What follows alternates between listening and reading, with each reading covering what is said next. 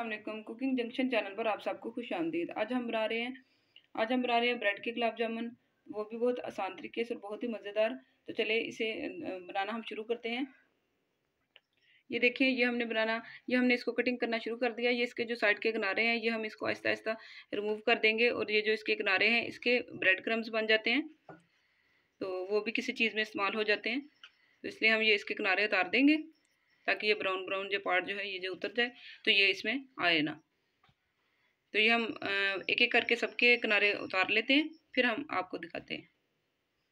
चलिए, ये देखिए, ये हमने इसको ले लिया, इनके जो किनारे हैं रिमूव कर लिए हैं। और अब हम इसको मसल लेते हैं। अब हम इसको चाहे तो आप ब्लेंडर में डाल के भी ब्लेंड कर सकते हैं। तो हम हाथों की मदद से इसको मसल रहे हैं। रही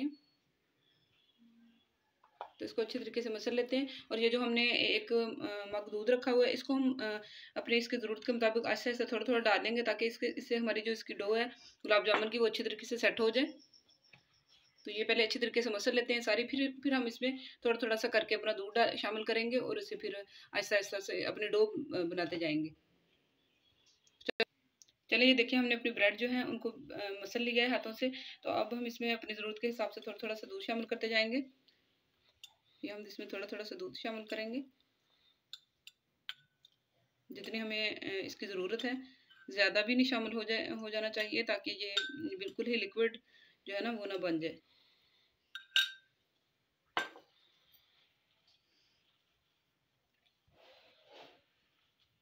चलिए ये देखिए हमने अपनी डो जो है वो सेट कर लिया है तो अब हम इसमें एक एक करके अपनी बॉल जो है वो बना लेंगे गुलाब जामुन की।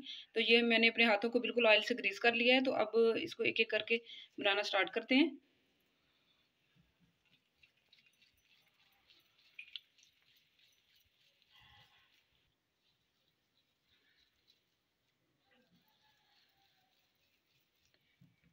ये देखें बॉल हमारी बिल्कुल रेडी है। इसी तरह हम आहिस्ता आहिस्ता एक एक करके अपनी बॉल्स बना लेंगे। चलिए अब हम अपना शीरा तैयार कर लेते हैं। इसमें रहीम ये हम इसमें एक एक कप चीनी है तो डेढ़ कप हम इसमें पानी डाल लेंगे। ये हमने डेढ़ कप इसमें पानी शामिल कर लिया और एक कप अपनी चीनी को शामिल करें। और इसे अच्छी तरीके से मिक्स कर लेंगे।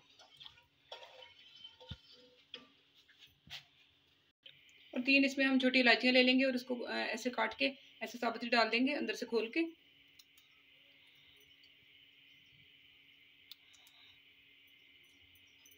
तो इसको अच्छे तरीके से साथ साथ हिलाते जाएँगे। और जो गुलाब जामुन की चाशनी है, इसको हमने गाढ़ा नहीं करना है, इसको हमने पतला ही बनाना है। तो पतला ही बनाना है इसको।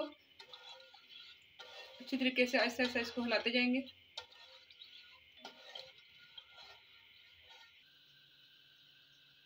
ये देखिए, हमने जो बोल्स अपनी बना के रख रख ली हैं, ये हमने बारह पीस लिए थे छोटी ब्रेड के। छोटी ब्रेड के हमने बारह पीस लिए थे तो इससे हम, हमारी ये बॉल्स बन गई हैं। ये तकरीबन तेरह चौदह बॉल्स बन के हमारी तैयार हो चुकी हैं। तो अब हम इसे अपना शीरा तैयार कर लेते हैं फिर हम इसमें बताते हैं आपको आपको बाद में। ये देखिए, हमारी इसमें चाशनी में बबल्स बनने स्टार्ट हो गए हैं। तो इसमें बबल्स बनने स्टार्ट हो गए इसको हमने पतला ही रखना है, इसको गाढ़ा नहीं रखना है। इसको हम बाद में बताते हैं कि हमने इसको पतला क्यों रखना है।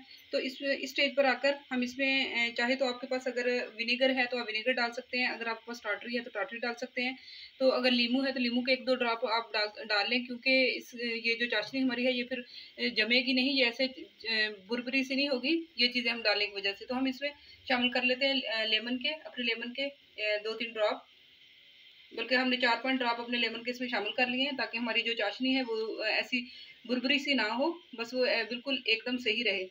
तो इस स्टेज पर आकर इसमें आप रूह केवड़ा जो है वो भी शामिल कर लेते हैं। तो मेरे पास वो अवेलेबल नहीं था तो मैंने नहीं डाला। अगर आपके पास अवेलेबल नहीं है तो कोई ज़रूरी नहीं है, वो खुशबू के लिए होता है। ये देखिए, जो हमारी चाशनी है वो रेडी हो चुकी। है इसे हमने पतला ही रखना है, इसे हमने गाढ़ा नहीं रखना।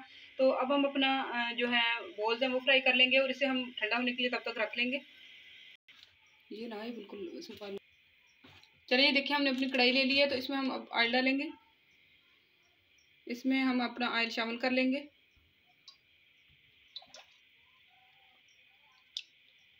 ये ये आपने जो ऑयल है, ये बिल्कुल फ्रेश लेना है, ये इस्तेमाल किया हुआ ऑयल इसमें नहीं लेना आपने। चले ये हम अपनी एक एक करके जो बोल्स है, वो इसमें शामिल करते जाएँगे।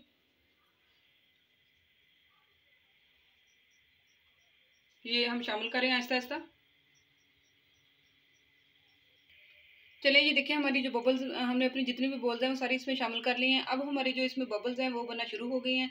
तो इस स्टेज पर हम अपनी आग पहले हमने आँच को स्लो ही रखा हुआ था तो अब हम आँच को तेज़ कर देंगे, ताकि जो हमारी बॉल्स हैं, उन सब पे कलर एक जैसा ही आए सब पे।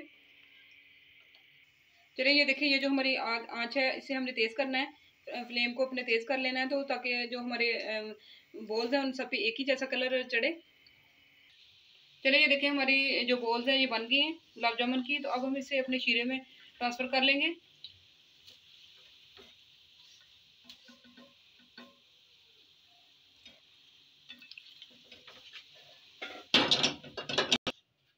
चलिए, ये देखो, हमने अपनी जो बॉल्स हैं हमारी रेडी हो चुकी हैं और हमने इसे अपने शीरे में डाल दिया है। तो इसमें तकरीबन ये दस मिनट तक डला रहेगा।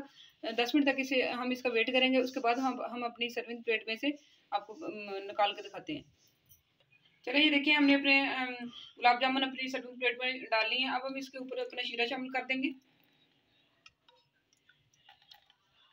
शीरे को डाल देंगे।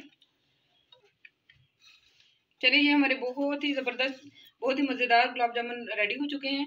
तो माशाल्लाह से माशाल्लाह से बहुत ज़बरदस्त तैयार हुए हैं। तो अल्लाह ताला की जितनी भी नेमतें हैं, उनका लाख लाख शुक्र अदा करना चाहिए। अल्लाह ताला ने इतनी नेमतें हमें दी हैं। तो अगर आपको हमारी चले, हम ये एक उठा के आपको तोड़ के भी दिखाते हैं। कितने नरम, कितने जूसी तैयार हुए हैं, ये देखें ये देखें, माशाल्लाह से। अगर आज को, अगर आज की हमारी जो रेसिपी अगर आपको पसंद आए तो हमारी वीडियो को लाइक शेयर और सब्सक्राइब करना मत भूलें मत भूलें और साथ लगे बेल आइकन के बटन को भी प्रेस करना मत भूलें। अल्लाह हाफिज़।